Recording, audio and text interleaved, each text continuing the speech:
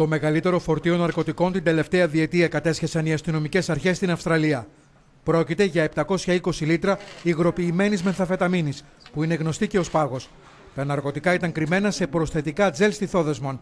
Η αξία τους εκτιμάται περί τα 890,5 εκατομμύρια δολάρια Αμερικής. Η κοινή επιχείρηση των ομάδων καταπολέμησης εγκλημάτων ξεκίνησε πέρυσι το Δεκέμβριο, όταν η συνοριοφυλακή της Αυστραλίας διεξήγαγε έρευνες σε ένα κοντέινερ πλοίου που έφτασε από το Χονγκ Κονγκ. Στο κοντέινερ υπήρχαν προσθετικά τζελ στιθόδοσμων. Μέσα σε αυτά υπήρχαν κρυμμένες μεγάλες ποσότητες υγρής μενθαφεταμίνη, δήλωσε ο εκπρόσωπος της αστυνομίας.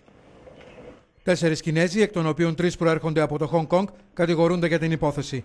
Τα ναρκωτικά εντοπίστηκαν σε αρκετές τοποθεσίες στο Σίδνεϊ. Η Κίνα είναι ο μεγαλύτερος παρασκευαστής στον κόσμο των χημικών ουσιών που απαιτούνται για την παρασκευή ναρκωτικών, σύμφωνα με την αρμόδια υπηρεσία του ΟΗΕ.